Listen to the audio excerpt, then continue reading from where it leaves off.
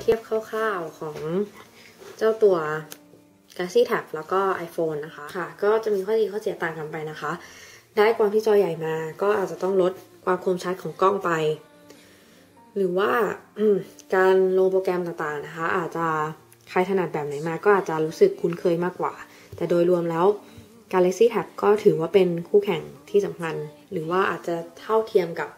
iPad ด้วยซ้ำนะคะ เพราะว่ามีกล้องหน้าด้วยมีกล้องหลังด้วย สามารถที่จะ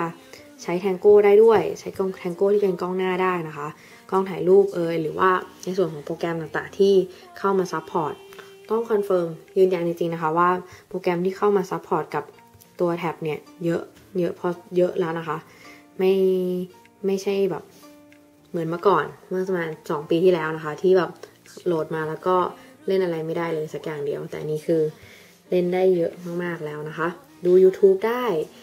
โดยเฉพาะการใช้แท็บเป็นโปรแกรมนำทางนะคะ สามารถนำทางได้ดีมาก อ่านอ่านเมล การตอบเมล เมื่อกี้ลืมเปิดเมลให้ชมนะคะทีนี้เราสามารถอ่านเมลตอบเมลได้ง่ายๆมากเลยนะคะ เวลาเอียงข้างก็กดเปิดเมลได้ หรือว่าการ support ในส่วนของออโปรแกรมเสริมต่างๆ Facebook นะคะ Twitter Twitter ให้ดูนะคะ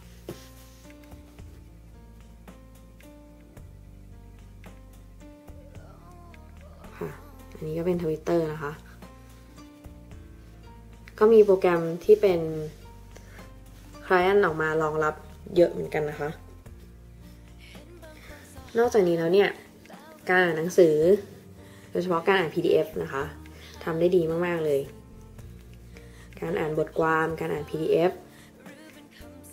การเล่นเน็ตนี่เป็นสิ่งที่น่าสนใจมากๆเลยนะคะ สามารถจดงานได้ด้วยขนาดที่ไม่ใหญ่ไม่เล็กเกินไปนะคะ 7 นิ้ว อีกอย่างหนึ่งที่ ถือว่าดีมาก ๆ เลยก็คือการที่ Android สามารถแชร์อินเทอร์เน็ตให้กับตัวอื่น ๆ ได้นะคะ สามารถกดกดแค่กดตึ้งเดียวก็แชร์อินเทอร์เน็ตได้แล้วค่ะ ก็รักใครชอบใครก็สนับสนุนต่อไปนะคะ ไม่ว่าจะเป็น Android หรือว่า iPhone ป๋า Steve Jobs เองก็ตามค่ะ วันนี้ก็จบการรีวิวเพียงแค่นี้ค่ะ ขอบคุณมากค่ะ